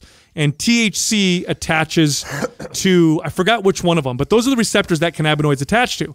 Now, here's the thing about CBD that's really interesting because CBD is a cannabinoid in cannabis. And we know that CBD doesn't make you high, it's non psychoactive, but it, it, does have these medicinal effects. It does have anti seizure effects. It's got, um, uh, it, it's pro, you know, neo, neogenesis, so it, it, uh, neurogenesis, I should say, excuse me, where the brain creates new, you know, brain cells. It's, um, it's, it's got all these positive benefits, but it doesn't make you high. Here's what's interesting about this, and I'm, I'm learning more about this uh, more uh, more recently. It doesn't attach to the CB1 or to the CB2 receptor at all. So it actually doesn't attach to those. But what what it's doing is it's making your available endocannabinoids. Uh, it's making them, or it's or it's opening up more receptors, or it's increasing circulating levels of your natural one of those two things of your natural cannabinoids. So CBD is interesting because it doesn't affect the cannabinoid uh, uh, system in the sense that it doesn't attach to those receptors. It just increases or improves the way your body uses its own cannabinoids, which is kind of cool, right? So, something that I think is fascinating about that is if you're trying to go off of cannabis, you may start to feel uh, withdrawal because anytime you hammer on a receptor, the body adapts and will downregulate those receptors or reduce its own production of something similar. If you're trying to go off of cannabis, what you might want to do is just stick to CBD because that could make the transition so much better because it makes the system operate. Oh, so I think it. I think it would make sense the way you would taper off caffeine, like the sim- similar way. Yeah. I do that with my my cannabis because I I'll go and if I catch myself where it's been like weeks where I've been consistently smoking, then I'll and I I know and this is part of why I like uh I like to and I know it's not the healthiest way to consume it, but why I like a joint is because I can see. You know, I, I get relatively the same type of strains. I have a thing where I cycle through about six different types of strains, and I will, you know, I, I bounce around. So I treat them the same way too. What that does, it keeps me from like mm-hmm. getting used to that strain, and so the same potency is kind of consistent no matter what. So you know, like, oh, it normally takes me one hit to feel this Exactly. way. Now it's taking me two or three, and then you notice start exactly. to taper down. And so then I Yeah. look, uh, so then I look at it like that because that's all I need is like one, two, and I'm good, and it gives it, it kind of sets me at ease. There's I can- definitely a sweet spot. oh, there is Like when you go too much, it's not definitely not going to benefit anything. No, then you're just life. then you're you're incredibly high. You can even get headaches from it, you know. Yeah. And then you're also just pushing it up there. I think you get ruined. you get adapted to it faster, and then now, now you have to smoke a whole joint, or Mm-hmm. Yeah. and you're smoking all the time just to feel that feel that same feeling. It's like no, So here's something else interesting about cannabis. Since we're talking about workouts, recovery, and all that, cannabis has been strongly uh, connected to now in several studies with lower body fat percentage and lower fasting glucose. So there's pharmaceutical companies right now. GW Pharmaceuticals is one of them. Making fat burners. Well, no, well they're they're investing in studying cannabinoids and as potential treatments for diabetes or pre-diabetes. Um, but yeah, decreased fat lo- or excuse me, increased fat loss, or people are leaner when they have, you know, cannabis, or at least it's connected, and they think it has to do with uh, the body improving the way the body utilizes insulin or utilizes sugar, making you more insulin sensitive. This may be why it's good for the brain in some ways as well, because it, Interesting. it- Yeah. they're showing that there's also it prevents things like Alzheimer's. So it sounds like a big commercial for cannabis. I know. Here's the reality: uh, it's going to be an individual thing, and you can definitely use too much cannabis, and too much cannabis is more is that that amount is more than you is less than you think. A lot of people are like, "Oh, I don't have it every single day, and I only have it, you know, four or five days a week." That's probably too much for most people, re- uh, to be honest. So, so look at it that way. Next question is from Jazzasaur. Is it possible? new favorite name. I'm just picturing it right now. I'm a jazzosaur. Yeah. Is it possible to keep or build muscle by adding more rest days and decreasing volume for a while after having overreached? Ooh, that's a really good question. It is. Have you guys ever experienced where you're you're training real hard, super consistent, then you like go on a trip for like four or five days? Oh, yeah. You come back to the gym, you're like, oh man, I'm gonna be so weak, and then you're stronger. yeah. yeah. You know what I mean? Yeah, yeah. That's a good sign that you were doing too much before. Oh yeah, hundred percent. I I- But this is, I mean, if you're gonna if you're gonna decrease volume to, I I think you not only are not gonna build muscle, but you're probably gonna see you're gonna you're gonna atrophy a bit. It's just inevitable. I mean, you're you had you had got your body adapted to taking on that much volume, and therefore it responded and built all this muscle. Now you realize you're overreaching, and now you try to back it out well yeah you're gonna it's you're gonna def- it's like what we tell people that need to lose weight like and they, they've been they've been hammering their metabolism for so many it's like yeah it's six months is gonna go by and you're you're mm-hmm. not gonna lose any weight like it's just and this is it's unfortunate to hear this but yeah it's inevitable you're gonna lose it I, I think if they're overtrained, then they'll, they'll, they'll, they'll that'll be that'll be where they can build muscle. If they're Yeah. so overtrained, That's the only situation Yeah. I feel like this is applicable mm-hmm. towards. So yeah. And they're saying overreaching, which I'm assuming that you know. I know that term's been thrown around like overtraining. I look, I've experienced this. I remember specifically where I would follow a routine. Look, I'll tell you what. Here's a great story. The first kinds of workouts that I did as a kid when I started lifting weights were the ones that I pulled from Arnold Schwarzenegger's Encyclopedia of Bodybuilding. And Arnold put in the back of that a beginner routine, intermediate routine, and then his championship routine that he did when he was competing as Olympia. Now, which one do you think I picked to do? right? I did hmm. Arnold's routine. And Arnold's routine was a double split routine. He that means he trained some body parts in the AM, some in the in the PM, and he hit the whole body three days a week, and every body part got between 15 to 20 sets per workout. Okay, so think about that for a second. so much volume okay? dude And I did, and I did that by the way. you just I lived in the gym. bro. I no, I, I was in my backyard. Oh, your I would, backyard, I, yeah. yep, I would go lift after school, and then I'd lift again before bed. So I do this double split like that, right? So it was like two or three o'clock, and then again at like eight or nine o'clock at night, and I'd take shakes and do the whole thing. And I got some results because I was a beginner, and I'm a you know 14, 15, 16 year old kid. But then my body just plateaued hard, like no more progress. I wasn't super muscular. I think I'd gained like 10 or 12 pounds on it, and, and that was pretty much it, and nothing else was happening. Then I started reading about this bodybuilder who competed against Arnold in the 1980 Mr. Olympia, and they had this whole controversy. Eh, But part of the controversy was this particular bodybuilder who seemed very intelligent. His name was Mike Mentzer. Men- Mike Mentzer, excuse me. He, the reason why it was controversial is because his training was so different from Arnold. So Arnold came from the high volume, high frequency, like ridiculous recovery ability, you know, bombard your muscles with all kinds of sets and angles mentality. And Mike Mentzer was one exercise to super ultimate failure and beyond per body part once per week, and that's it. Hmm. So his workout was literally, you know, if I'm doing chest, you know, a chest exercise today, I do one set, I go to crazy failure, throw in some partials or some force reps, and that's it. And I don't do anything else, and I wait till the next week. So different. And Mike Mentzer, he looked super muscular. His brother Ray Mentzer was super muscular and crazy, and they followed these workouts. And they were promoted by Arthur Jones, who was the creator of Nautilus Equipment. He showed Casey Viator making all these. So it was it was a whole marketing, like who's going to win this marketing war. So I bought Heavy Duty, which was the book that Mentzer wrote, and I followed that routine where I did one set to failure per body part, and I grew. I I gained like five to seven pounds of muscle in a very short period of time. And I know why that happened. It's because it was a totally different stimulus. It was I was overtrained to fuck before, mm-hmm. and my intensity was higher than it was before. And of course, my body plateaued on that as well because there's a little bit of truth in each of Yeah. Yeah, rest is another variable in a sense. Yes. If you want to stack them all together in these acute variables, whether It you're really matters. intensity, volume, whatever. it really matters how this person built up that volume too, dude. If this is somebody who's like I, I'm picturing like the competitor or somebody who's been training for a long time and built up all that volume, and then you realize that you've probably been overtraining your body, and you step back. Initially, most people are going to see you're gonna you're gonna see some atrophy. You're gonna step down because you've decreased the volume so much, and your body was so adapted and accustomed to that that you'll see. But you'll take you know three steps back to take four steps forward. You know what I'm saying? Have you so- ever done that though? You've never done that where you've you've backed off a little bit and you're like, whoa, I got I got more growth because I was doing too much before. Yeah, and I have. Yeah. I, I have. I think there's I think there's cases of that, but I think there's also I think it's it's important to mentally prepare yourself that that's not your goal at Yeah. that moment. Is your goal isn't I'm not changing like you might have been as a key young teenage boy, but if you're somebody who's putting this together that oh my god, I'm probably hammering myself too much.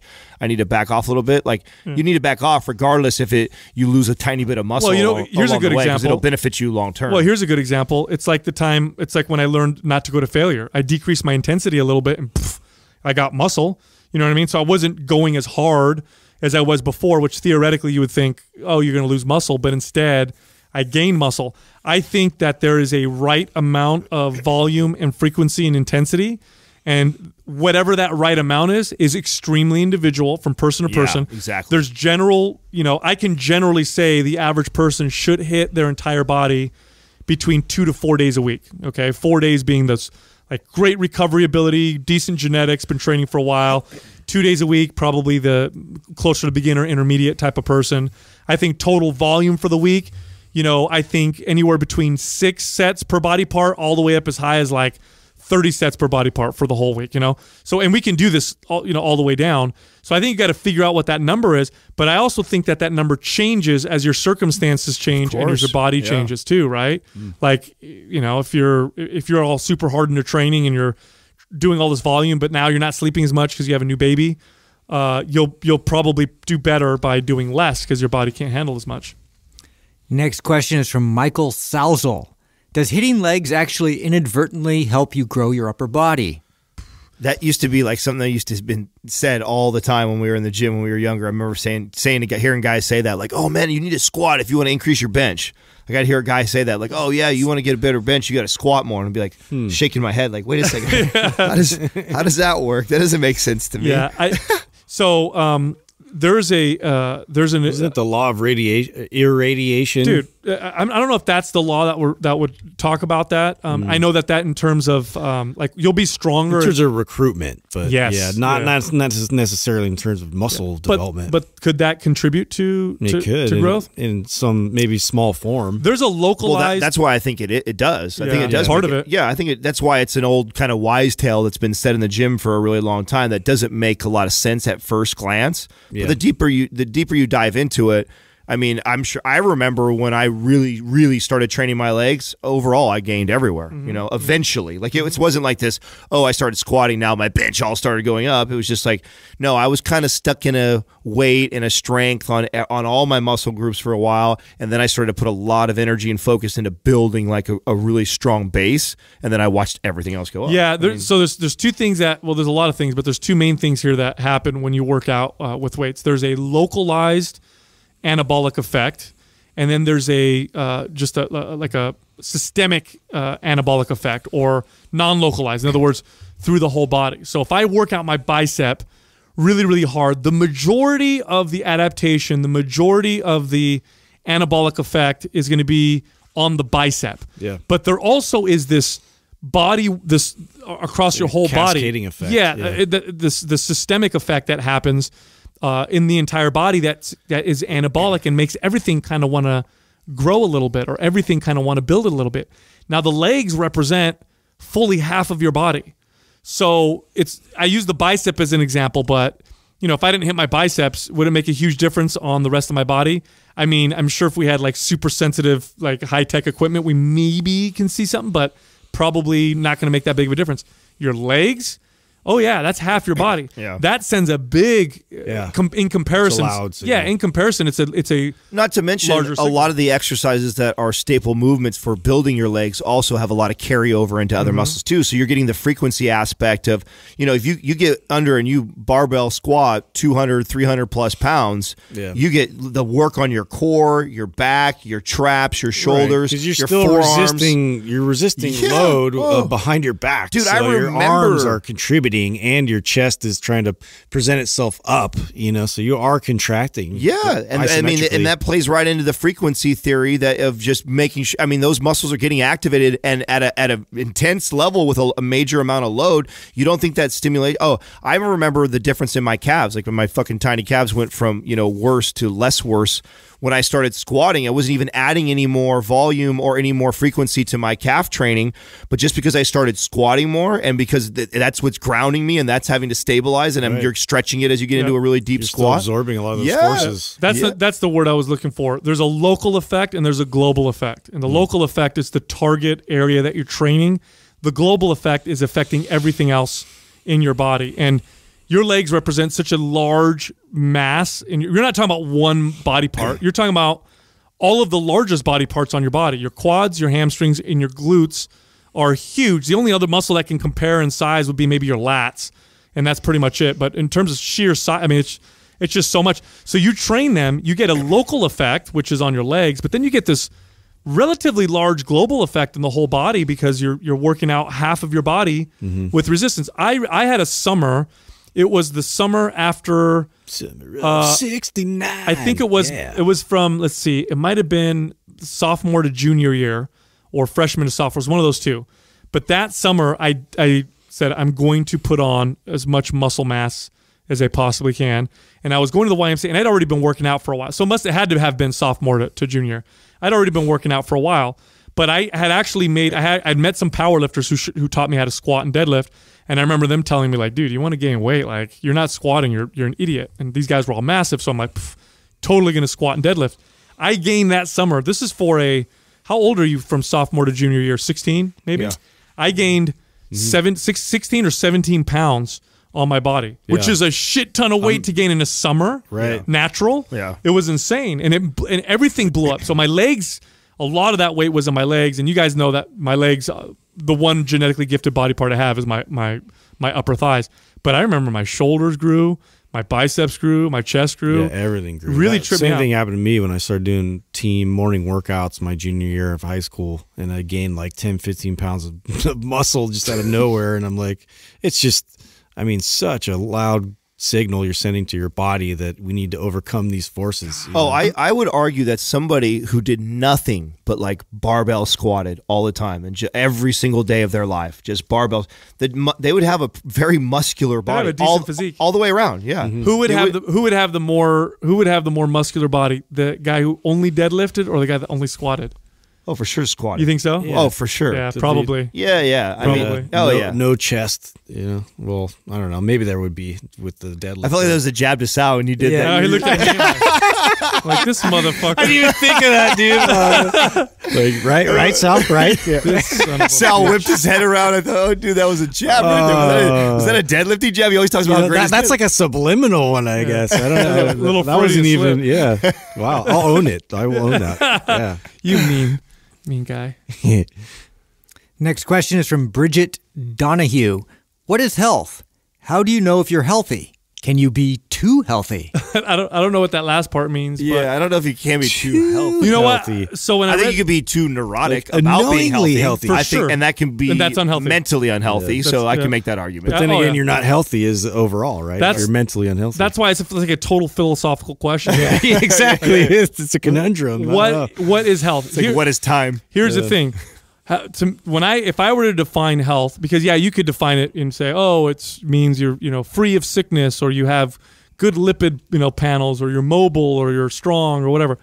The way I I would would look at health is is your quality of life excellent? Like, do, would you consider your quality of life fulfilling, meaningful? Uh, something that you would consider like truly optimal health for yourself. Well, then now you've you've hit that pinnacle, and that's different from person to person. Like for me, you know, maybe rarely ever enjoying, you know, sweets or pizza or foods like that. Um, maybe for me, that's optimal health because for me, that's my best quality of life. But someone else may value those things so much that they're like, you know, I'm not going to walk around at 10% body fat or I'm, I'm going to hold a little bit more body fat. And I know it's not the greatest It has health, everything I to do love with it. your value. It it has everything to how you put value on it. You have to. Because if you could look at somebody who is neurotic and is, you know, only eats organic food all the time and that and they never go outside those boundaries, and you may look at them and be like, oh my God, that's so unhealthy because mentally how neurotic you have to be that. But maybe that person values And they love it. and they absolutely love it because maybe to them when they eat like that their they sleep better their sex is better their relationships are better all these things are so much better in their life and they look at it like that is not even a sacrifice to me it's mm-hmm. how I want to feed my body so who are we now on the other side of that you might be somebody who's like I fucking love every once in a while to go have a beer with my buddy. Every once in a while, I like to have some cake. Every once in a while, I like to do some things like that and not feel guilty about it. And I, mm-hmm. that's part of being mentally healthy for me, even though it may not mm-hmm. be serving my body at that moment. Like I think it's all about who, it, and this is going to be individual and different for every Yeah, human I think with health, you have physical health. But that's that's kind of easy um, to, to quantify, right? Like, I, we could say like mobility, some enough strength to do what you want to, right. So you don't need to be super strong, but if you like to lift heavy things, maybe you should be. Um, but strong enough to to to you know ward off you know osteoporosis or strong enough to do what you want to do. Uh, you want to have endurance or stamina enough to do what you want to do. Um, you need to have you, You know everything working inside you correctly. yeah, yeah. Organs got to be healthy, all that stuff. That's easy. And then there's mental health. Like, are you free from mental illness, anxiety, paranoias? Are you generally, um, you know, do you have a nice balance of happiness with, you know, maybe some normal sadness? Can you process things well? But then there's another component that I really only now I'm really starting to see the power of, and that's uh, spiritual health. Now, spiritual health, I think, can mean a lot of different things for people. It could be like the modern, you know, the modern religious, you know, people that would be who are the ones with the crystals and the they don't say God anymore. And like nobody's like God help me. It's like the universe no, help no. me. I'm yeah. spiritual. Yeah, they they say the universal. Yeah, one. right. Or you know, or you know, people who are you know religious, or people who just they go on hikes and they sit and they admire the the the wonder and the awe of nature. Whatever. That spiritual health, I'm starting to realize is it's like you have to have that is a very important part of your health, just like the mental and physical part. But and it's not mental. I used to think it was kind of mental health, but it's not. Mental health is totally different. It's it's spiritual health is what gives Something meaning. gives purpose. It gives meaning and purpose Yes, to everything. it's the purpose to everything. Totally, Yeah. totally. And if you have all three of those, and all three of those have a good quality for you, I would say you can consider yourself in, in good health. I think if one of those things is off, you know, you may be like super physically fit, super physically healthy, but you're neurotic, like you said, Adam, about nutrition. Your mental health isn't isn't so good. Right. Or maybe you've got great mental health, you've got great physical health, but life is just you don't know why it feels like it's black and white or it's it's gray. It doesn't feel like it's this like you're not le- leading every day thinking like there's this purpose or this meaning. Well, then you know that there's a spiritual side there that you may be missing. And then the physical one, that's super easy, right? I agree with that. You can go to the doctor, get tested, or you know, notice your own movement or stuff is painful. Um, but yeah, I mean that's pretty much it. And I think if you focus on those things, and really the only way to focus on those and understand those is to consider yourself someone worthy of you know, quality in those types of things. If you don't think you're worthy of the quality of of good quality of those factors, then you're it's going to be hard to ever reach them because all of those require sacrifice. Like if you want good physical health, it's going to require sacrifice. It's going to require sacrificing expediency, uh, sacrificing, you know, sometimes the now and the Temporary present, discomfort, you know, lifting weights, you know, All all, these things All- factor in. all that mental. That's also going to require, um, you know, sacrifice. If you want good mental health, you have to sacrifice because at the moment I may be sad or depressed, like my my parent must die, you know, just died, or I just got divorced, or something terrible happened. I lost my job. Well, um, I could just say I'm going to take drugs. I'm just going to take a bunch of drugs, feel happy. Or if I if I have that mental health, I can say, well, that's probably not going to benefit me. I'm going to process this. I'm going to let my my mind heal. I'm going to think about things. So you have that requires some sacrifice, and then spiritual, you know, spiritual sacrifice. So if you don't consider yourself a person worthy of, you know, that kind of work because it takes work, then it'll never happen. If you consider yourself someone that's worthy of those types of things, like I'm somebody that is worth sacrificing for, well, then you then health is is you know in your future. Good health, good total health is in your future. Agree. Uh, so if you go to our show notes, you can see all of our episodes uh, listed by the minute, pretty much. So you know what we're talking about. If you want to fast forward, rewind, whatever. When did you know Adam make that joke or Justin make that scientific fact? Say what? Uh, go to you can see it on the show notes. I see that jab back. and go you like that and and cl- and see the time stamp and go find that part of the episode. It's on mindpumpmedia.com and it's under the podcast uh, section of the tab. Thank you for listening to Mind Pump. If your goal is to build and shape your body, dramatically improve your health and energy, and maximize your overall performance, check out our discounted RGB Super Bundle at mindpumpmedia.com. The RGB Super Bundle includes MAPS Anabolic, MAPS Performance, and MAPS Aesthetic. Nine months of phased expert exercise programming designed by Sal, Adam, and Justin to systematically transform the way your body looks, feels, and performs. With detailed workout blueprints and over 200 videos, the RGB Super Bundle is like having Sal, Adam, and Justin as your own personal trainers, but at a fraction of the price. The RGB Super Bundle has a full 30 day money back guarantee, and you can get it now plus other valuable free resources at mindpumpmedia.com. If you enjoy this show, please share the love by leaving us a five star rating and review on iTunes and by introducing Mind Pump to your friends and family. We thank you for your support, and until next time, this is Mind Pump.